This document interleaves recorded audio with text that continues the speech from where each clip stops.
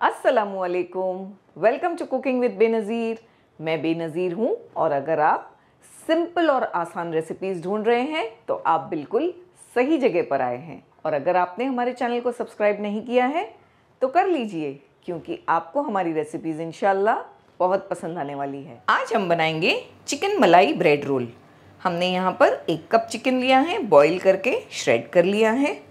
हम चिकन में थोड़ा हरा धनिया और थोड़ा पुदीना डालेंगे, बारीक चॉप करके। एक टीस्पून चिली फ्लेक्स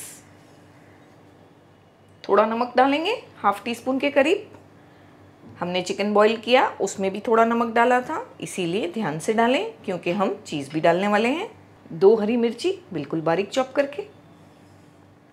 एक मीडियम साइज़ का आलू हमने उबाल लिया है और फिर मैश कर लिया है। जितनी आप चिकन यूज़ करते हैं, उसकी हाफ़ क्वांटिटी में आलू यूज़ करें।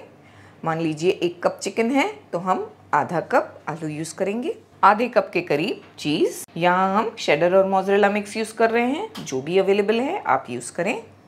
तीन टेबल स्पून फ्रेश क्रीम कुटी हुई काली मिर्चें।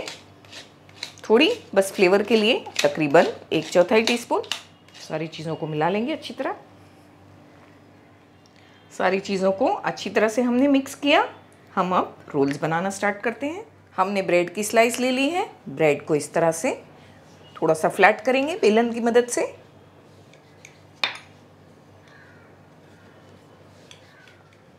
फ्लैट करने के बाद हमें इनके एजेस निकाल लेने हैं।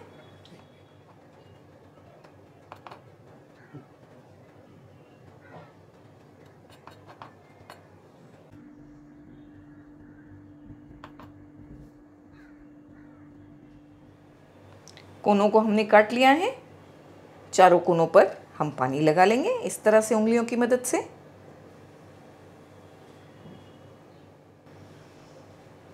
जो मिक्सचर हमने तैयार किया है चिकन का, वो लगाएँगे इस पर। बहुत ज़्यादा मिक्सचर नहीं लगाना है हमें, बस एक से डेढ़ टेबल स्पून मिक्सचर लगाएँगे। फिर हम इन्हें रोल करेंगे इस तरह से। पानी लगाया है हमने इन पर तो ये आसानी से चिपक जाएँगे। अगर आपको मुश्किल हो रही है तो थोड़ा सा और इस तरह से पानी लगाएँ और इन्हें अच्छी तरह से चिपका दें। इतने मिक्सचर में हम तकरीबन 15 से 16 ब्रेड रोल्स बनाकर तैयार कर सकते हैं। सबसे पहले हम रोल्स को अंडे में डिप करेंगे, जो हमने बीट किया है, थोड़ा सा नमक डालकर। फिर इन्हें ब्रेड क्रम्स में डाल देना है। ये पैंको ब्रेड क्रम्स हैं, जो हमने घर पर बनाए हैं।